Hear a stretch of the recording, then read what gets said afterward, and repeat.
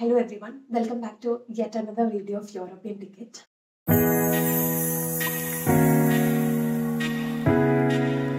I'm Ganga uh, and I'm coming from India. I've done my BTech in Food Technology and Management from NIFTEM and currently I'm pursuing IUP Foods program from uh, Ghent University and KU Leuven. So today I'm going here to introduce you to this IUP Foods program.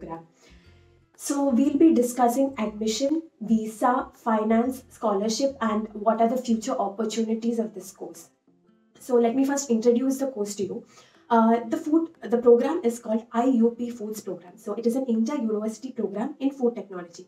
It is an MSc course of two years and the two partner universities are Ghent University and KU Leuven University. Both universities are in two cities in Belgium itself. Uh, this program has two major specialization. The first one is food science and the second one is post-harvest management. In food science, you'll be learning more core food subject, the food chemistry, food colloid, food formulation. And in the post-harvest management, it's more of uh, thermal properties and thermodynamics, about more about machineries and food engineering related subjects. And um, to be eligible for this program, I am from a food technology background and um, many of us here are from food technology background. However, if you're from uh, biotechnology, microbiology, chemical engineering, any of this background, you can be eligible. And you just need to make sure that you uh, fit the criteria or fit the credit criteria of the program. As long as you have a science and engineering background, I think you'll be eligible for this. And uh, let me take you through the admission process. So since I've already mentioned it's in two universities, but the admission is dealt by KU Leuven alone. So uh, you can see the admission process uh, like it is in the KU Leuven website. Uh, for all non-EEA citizen, the admission process is similar for any program. So even if you're applying for multiple programs in KU Leuven, still you just need to make one account. Uh, to find the initial link for application might be a bit challenging. Uh, we'll put the initial application link down below. So you just need to create a profile and then there will be a list of documents that needs to be uploaded. So um, majorly for this program, uh, you need a motivation letter and just like any other master's program, you need an IELTS score. Um, or you can also uh, give a document that your bachelor's or previous education was in English. But to get that done and to get it approved is a bit challenging. So it's always best to have IELTS or TOEFL or um, any recognized English language test and you need an SOP, you can, uh, it's always better to have a letter of recommendation. Uh, it improves your chance and they do have a specified format for letter of recommendation. So you can download it from their website, just fill it up, get it filled up by your um, previous work boss or you can get it from your university professors. So it always adds value. And this is one of the few programs that has an admission fee uh, for the application. So it is around 7,000 rupees and you need a Visa card to make the payment. But um, and uh, once you get the uh, like once you submit the application the deadline uh, will be for non-EA citizen it will be March end and if you are looking for scholarship uh, you will need to apply it at least by the end of February the exact deadlines will be mentioned on the website and once you apply uh, the result may not take more than a month but it depends on the number of applicants so uh, in each year the number of applicants are increasing and the number of seats are also increasing so there is no limited number of seats reserved. It depends on your application. If your application is strong, you'll definitely have a place here.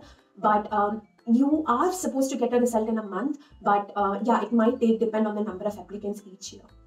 So coming to the visa process, as I've already mentioned, this is uh, in just one country. Most of the uh, programs in these universities are uh, across three or four countries, but here it's in just one country. So you need a Belgian visa, type D student visa, and um, the application process is dealt with the Belgium embassy but through VFS portal.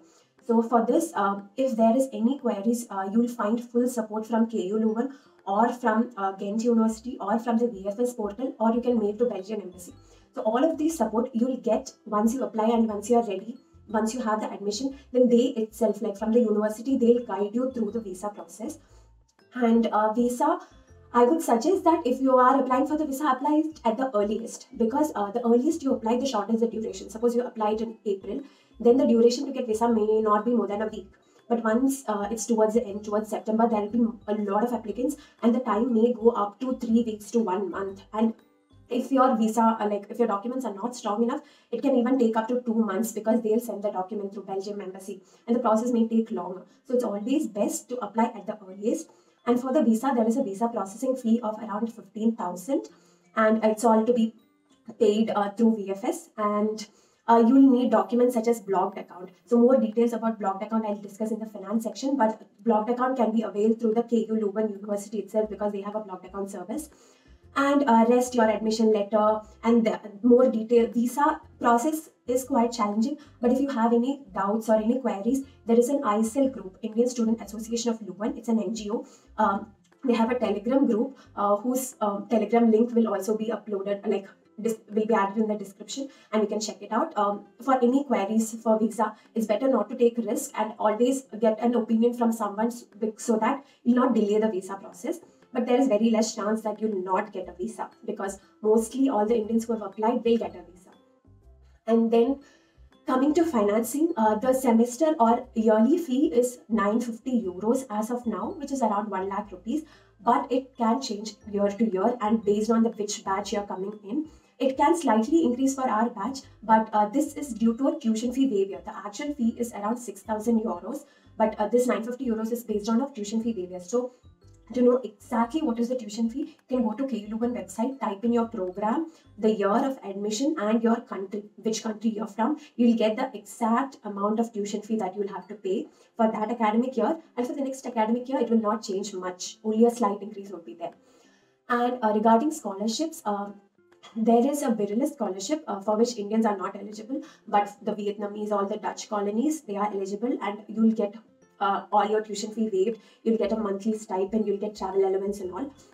And uh, for Indians, you can apply for a mastermind scholarship, as I've earlier mentioned for scholarships, if you need to be eligible, it's very important that you apply before the deadline because there is no different application for scholarship. It's just that you are automatically eligible for scholarship if you apply before the scholarship deadline. So uh, keep a good eye on the deadlines for this year. And uh, getting a mastermind scholarship is very challenging, and I've not seen anybody in IUP Foods program having a scholarship.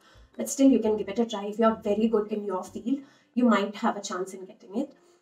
and coming to blocked account, yeah blocked account is where you put in a certain amount of money for this semester so uh, sorry for this one academic year and you put in um, an amount of money so for us it was 10500 euros so it's around 11 lakh rupees uh, after considering the tax and service exchange charges and all. So you'll put in that money for this program. KU Leuven offers this blocked account services, but there are private agencies who also offers this service. It's always best to go with the KU Leuven one. And so you need to transfer this amount to them and they will uh, give an allowance of 950 euros every month for one year. So your visa is also only valid for that one year. And after this one year you will have to again make a blocked account payment and renew your visa uh, and uh, making the blocked account and getting a financial certificate from KU Leuven is uh, not a very challenging thing. Uh, you just need to ensure that you're transferring it through a legible bank. Um, and yeah, that financial certificate is the only thing that you need as a blocked account proof by in your visa process. And it's uh, not mandatory to have a blocked account, uh, but there are other options as well. You can just show, show a financial proof that uh, whoever is sponsoring you has the capacity to make payment. But all of these are quite challenging to get approved. So uh, if you have a blocked account, it's quite easy for your visa to get processed uh, than showing other financial proofs. And uh, then coming to the cost of living, as I said, they'll transfer 950 euros, but currently in Europe, the condition is such that the cost of living is increasing day by day. And uh, the cost of living was not 950 euros the past year, and we cannot say how much it will be in the coming years. But uh, even if they say it's 950 euros, the cost of living will be around that range. I wouldn't say that you can save something from it but uh, yeah it will be somewhat in that range only. You'll not be able to uh, not spend 950 euros.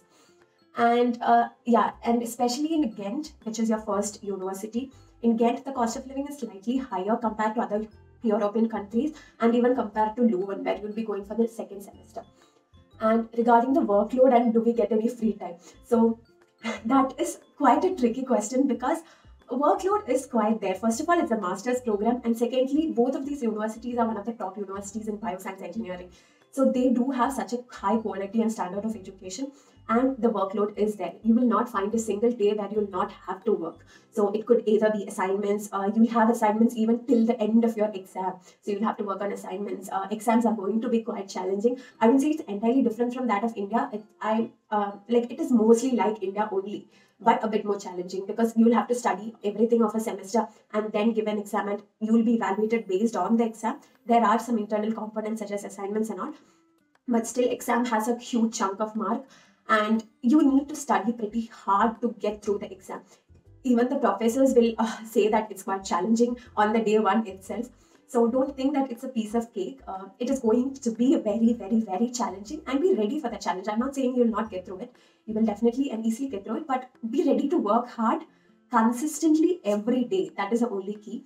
And regarding free time it is really not that easy to find free time but you can. And regarding part time, I wouldn't recommend it for the first semester, even though you can maybe do a part time, which is maybe once a week or that. Like you cannot definitely work for 20 hours in a week, which is the limit. I don't think it is possible in the first semester.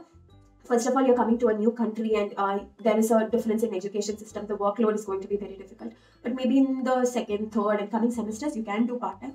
But don't expect to come here and right away start with a part time and earning back because uh, the workload is challenging and it won't be easy to find a part time. Also, I wouldn't say the language here is Dutch, but I wouldn't say it's necessary to have a Dutch background, like Dutch learning strong, as in like uh, France or Germany, it's very important to have German or French. But here it's no. Uh, most of them, since it's a multilingual country by itself, most of them knows English. Even though they would prefer you speaking in Dutch, um, you can easily. There are so many students, especially in Ghent and in KU Leuven, there are so many students. So these are student cities, and you can easily live with English. And if you have a Google Translate, that's it. But it's always recommended to know the language and be familiar with it. Uh, yeah, and coming to the future opportunities from this, you will get a Master of Science degree.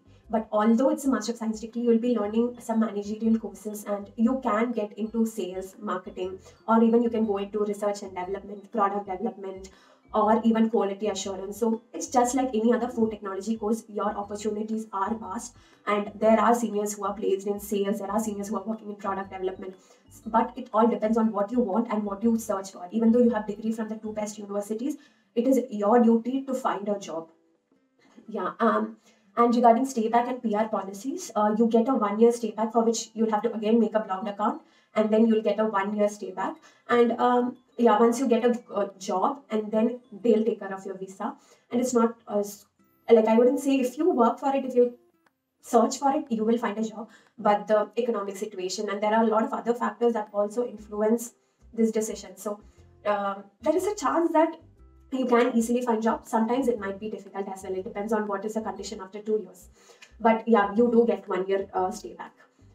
And yeah, I hope we were able to answer some of your questions. But in case you have more questions, please feel free to comment down below. We'll be happy to reply to your comments and you can get in touch with the ISAL group or get in touch with us through Instagram, anything. So we hope we were able to give you some valuable information about IUP Foods program. Thank you so much for, for watching. And if you haven't yet subscribed to it, please subscribe and also like this video if you were able to help and share it with your friends who might be looking for a food technology masters. Thank you so much.